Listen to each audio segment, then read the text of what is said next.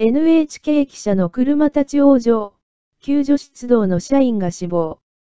2日午前3時半頃、北海道苫小牧市丸山の林道で、ロードサービス会社社員の20歳代男性が倒れているのを、捜索していた自衛隊員が発見した。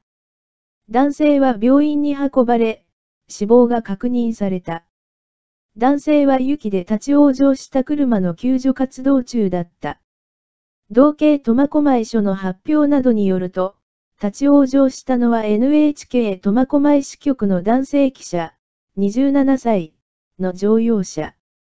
記者は2月28日休暇でエゾシカ漁のために入山していた。記者から救助要請を受けたロードサービス会社は3月1日、男性を含め3人を立ち往生した場所に向かわせた。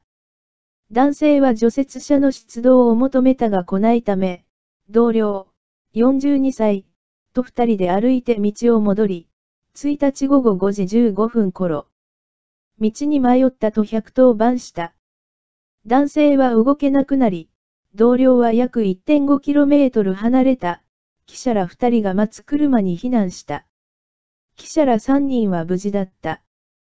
男性が倒れていた現場は同市中心部から約17キロ、メートル北西の樽前36。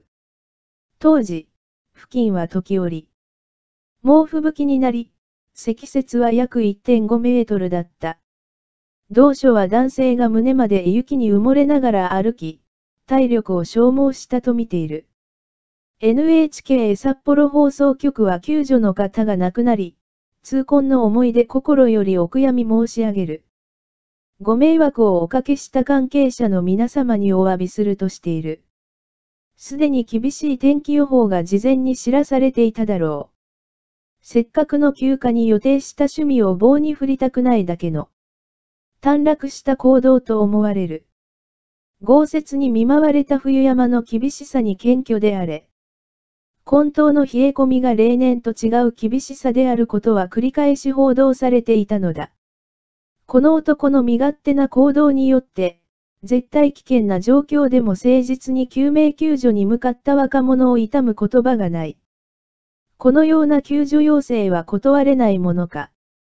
いな、断じて断ってよい。そんな甘い社会はこの世にはないと、肝に銘じよう。